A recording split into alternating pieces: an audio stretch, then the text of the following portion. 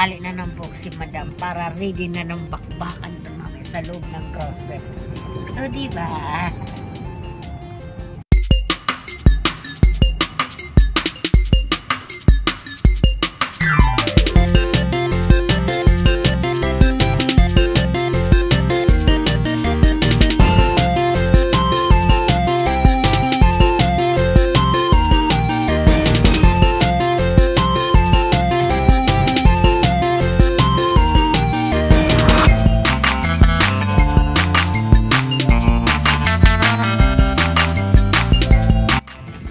Nandito na tayo.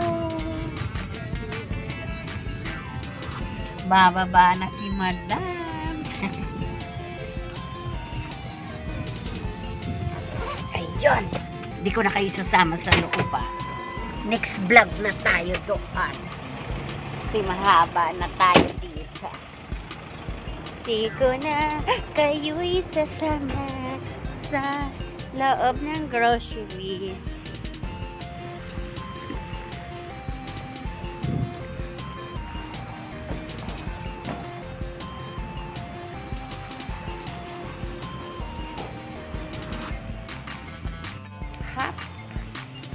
Hanggang dito lang kayo ha.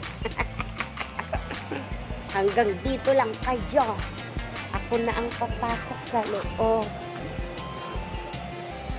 Dami dito paninda oh. Diba?